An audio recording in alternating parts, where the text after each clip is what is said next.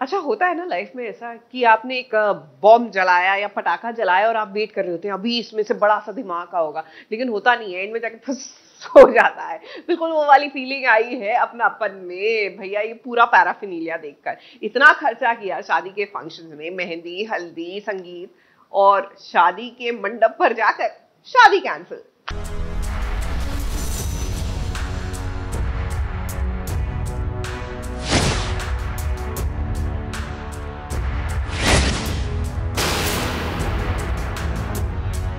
ये शादी नहीं हो सकती। तो जो गठबंधन हम इतने प्यार से, इतने अरमानों से बांधना चाह रहे थे, उसे अपने हाथों से खोल देंगे।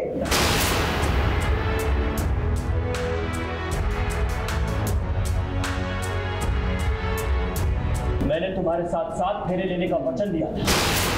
अब ये शादी नहीं होगी। निखिल निखिल ये क्या कर रहे हो तुम? निखिल! तो फाइनली सक्सेसफुली निक और पल्लवी की शादी टूट गई।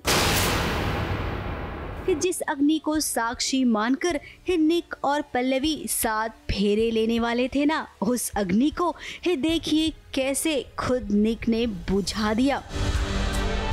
अब ये शादी नहीं होगी। निखिल निखिल ये क्या कर रहे हो तुम? निखिल! अब एक पति को अपनी पत्नी पर ही क्या इतना विश्वास नहीं है? और सासू माँ आपका भी जवाब नहीं एक खत मिला नहीं कि आपने अपनी बहू के चरित्र को गलत समझ लिया। आखिर आप लोगों का रिश्ता इतना कच्चा कैसे है? ये खत पल्लवी ने रणवीर के लिए लिखा प्रेम पत्र। अगर ये खत हम सबके सामने पढ़ेंगे ना तो भरी बिरादरी में और बेइज्जती होगी। देखा नहीं औरत क्या गुल खिला रही है? नहीं लग, लगा तो नहीं था लेकिन जो आग लगाने वाले लोग होते हैं ना उन्होंने आग बराबर लगाई है। इसलिए मैं ब्रेन वॉश हो गई हूँ वरना बहू तो मेरी बहुत अच्छी और मेरी सास तो मतलब मेरे जैसा मैं कहती हूँ सीन में भी कि आ, मेरी माँ से बढ़कर हैं। मेरी माँ से ज़्यादा मुझे ये समझती है। तो आ, कोई बात नहीं है अगर इस बार किसी गलत फहमी का शिकार बन गई हैं वो और मुझ पर से विश्वास उठ गया है। लेकिन पल्लवी को ये विश्वास है कि वो उनका विश्वास जीत के रहेगी। फिर देखिए कैसे दुल्हन की तरह सजी थी पल्लवी। फिर निक और पल्लवी के बच्चे भी आज बहुत खुश थे कि मम्मी पापा की दोबारा शादी होगी। लेकिन इनकी खुशी, ही भला सोनाली और नंदिता को रास कहाँ आई? अब ये जो पूरा कांड हुआ है ना, इसके पीछे नंदिता और सोनाली का ही तो हाथ है। जिन्होंने मिलकर एक बार फिर से निक और पल्लवी के रिश्ते को तोड़ दिया।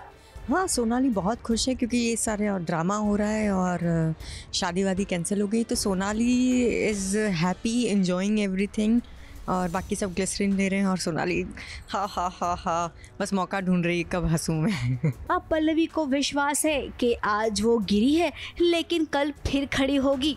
अपने आप को बेगुना साबित करके रहेगी। लेकिन पल्लवी, आपको बेकसूर साबित करने में अभी थोड़ा वक्त लगेगा। फिर तब तक कहीं ऐसा ना हो कि सोनाली बाजी मार जाए। ये औरत तुम्हें धोखा देती आई है और अभी भी दे रही है।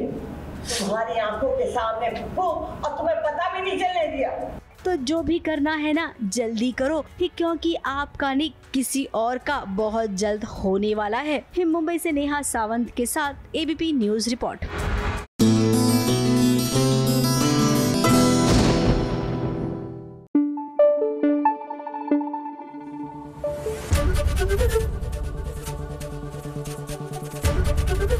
ABP news आपको रखे आगे।